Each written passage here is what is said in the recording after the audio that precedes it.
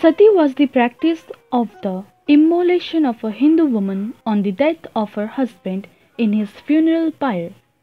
Although this practice does not have any Vedic sanction, it had become prevalent in some parts of India. The widow was supposed to ascend to heaven, and this was considered the ultimate sacrifice and proof of a woman's devotion to her husband. Many cases of sati were voluntary, whereas some were forced. Raja Rammohun Rai, the great Hindu reformer from Bengal, fought many societal evils prevalent in the Hindu society of Bengal and Sati Pratha was one of the chief ones. He had witnessed the live immolation of his own sister-in-law, which touched his soul. He started his struggle against this practice in 1812. William Carey, an English missionary, also fought against this barbaric practice.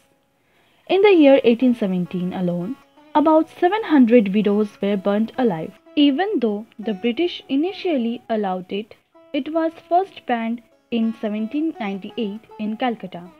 However, the custom continued in the surrounding areas. Raja Rammohun Roy was a vociferous campaigner against sati.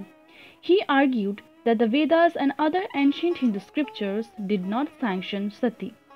He wrote articles in his journal Samvad Kaumudi advocating its prohibition. He requested the East India Company administration to ban this practice. Lord William Bentinck became the Governor General of India in 1828. He helped Raja Rammohun Roy to suppress many prevalent social evils like sati, polygamy, child marriage, and female infanticide. Finally, the Bengal Sati regulation, which banned the sati practice in all jurisdictions of British India, was passed on 4th December 1829 by the Governor General Lord William Bentinck.